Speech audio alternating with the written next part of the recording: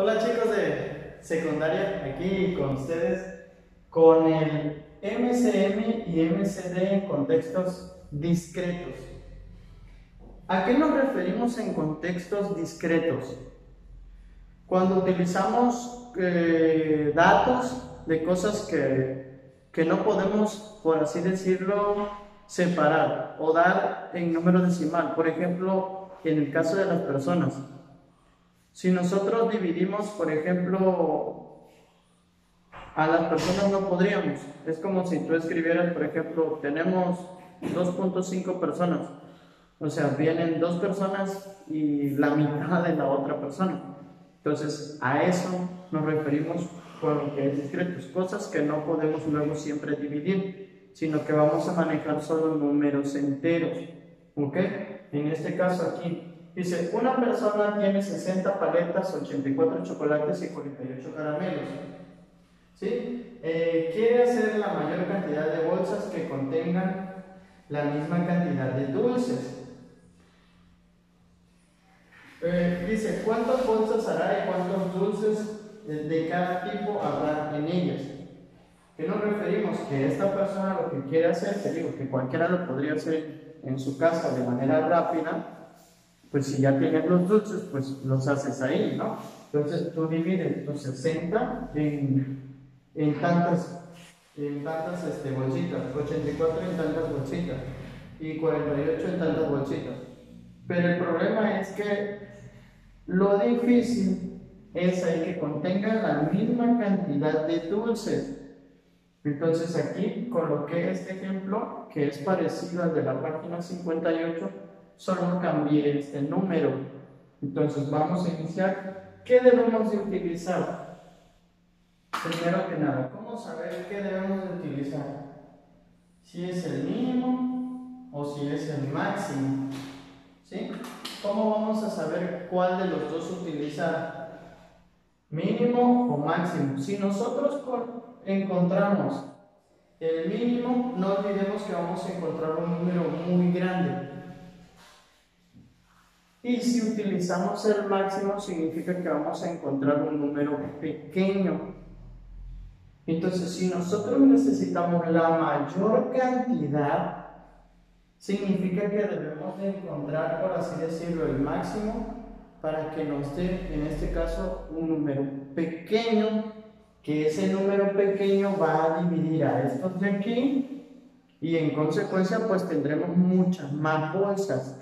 ¿Sí? Entonces, vamos a utilizar el máximo, repito. El mínimo siempre nos da un número grande y el máximo nos da un número pequeño, o sea, la respuesta. Entonces, ese número pequeño nos va a servir para dividir a estos de aquí. Entonces, el mínimo aquí no lo voy a utilizar porque pues, no tendría sentido, no me serviría para nada.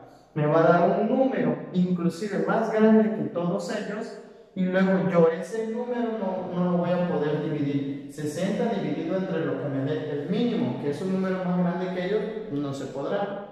Entonces necesito saber qué es el máximo común divisor. Entonces, para ello no olvidemos nuestra regla, que es escribir. Vamos a escribir al 60, ¿sí? al 84 y al 48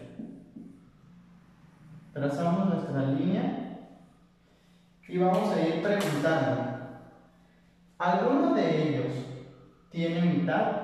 Sí, 30, este, en este caso 42, ¿sí? y aquí 24.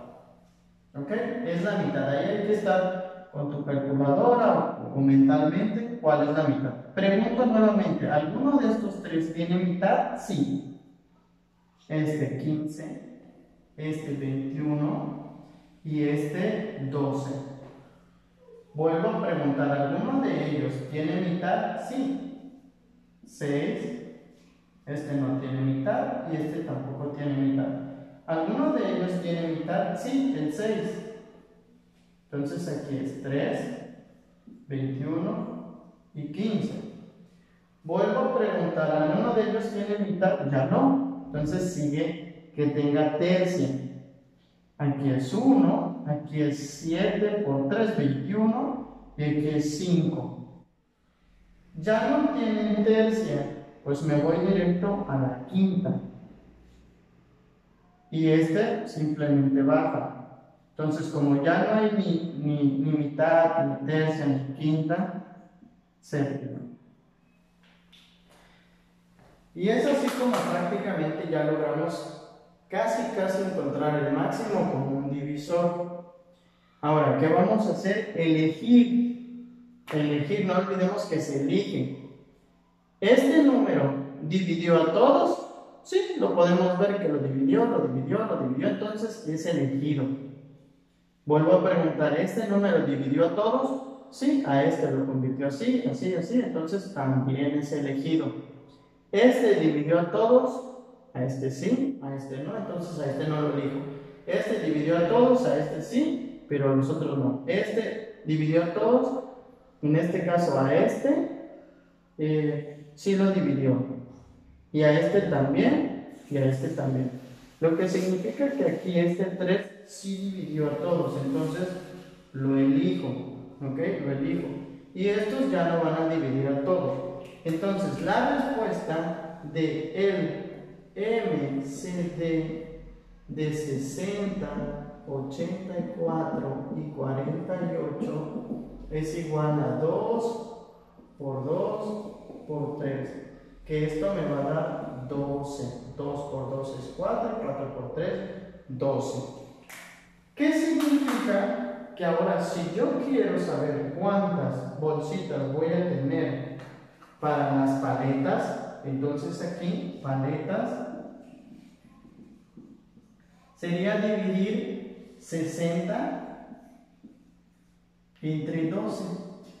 ¿Sí? 60 entre 12, pues sabemos que es 5. 5 por 12, 60. Entonces me da 0.